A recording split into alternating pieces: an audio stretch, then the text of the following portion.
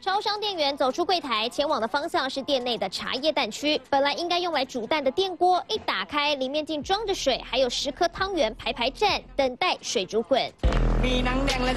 本该用来装茶叶蛋给客人购买的器具，被拿来私自使用。影片在一号凌晨放上抖音，拍摄者文章写道：“致敬烤虾哥，但烤虾过时了，现在要煮汤圆。”底下网友留言：“同行都是人才。”还有人说学起来了，明天上班就要来试试。更有人发文：“下次可以改煮水饺吗？”原来这间超商品牌不是第一次闹出争议。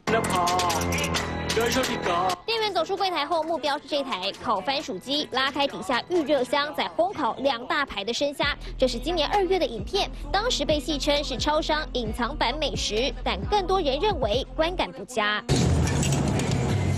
装着香喷喷的茶叶蛋，但客人就怕锅子被拿来煮过店员的汤圆。这间知名超商连两次被拍下私自使用店内公物的影片。对此，品牌发表声明说，这只是个别店员的异常行为，用商业器具进行私人行为是不被允许的，将会追查发生在哪间分店，就怕争议影响品牌形象。三顺这场王玉竹台北采访报道。